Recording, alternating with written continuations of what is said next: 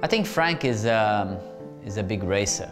The only thing that he thinks is about racing, is about, you know, just being the best. Yeah, he's really a nice um, uh, character as well. We call him Mr. Motor Racing. He is living, breathing motor racing.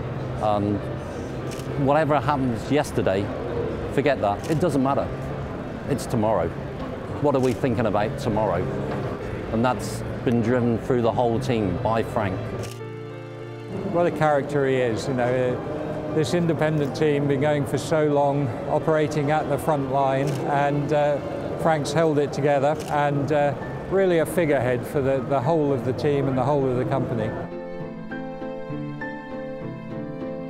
Frank taught me very quickly what money in Formula One is all about. Frank made me do a budget, took it to him, no, that's too expensive, go away, do it again.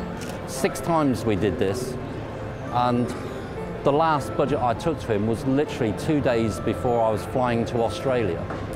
And uh, he said, Richard, I passed your first budget months ago, but I wanted you to understand what the cost of Formula One is.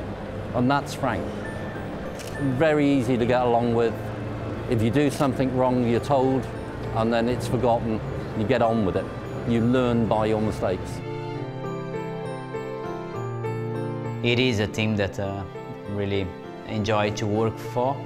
It is a very uh, family team, and uh, so I'm really proud to be part of his um, team, but also to be part of his uh, history. He is the leader of the team, pushing the team forward for what's new tomorrow.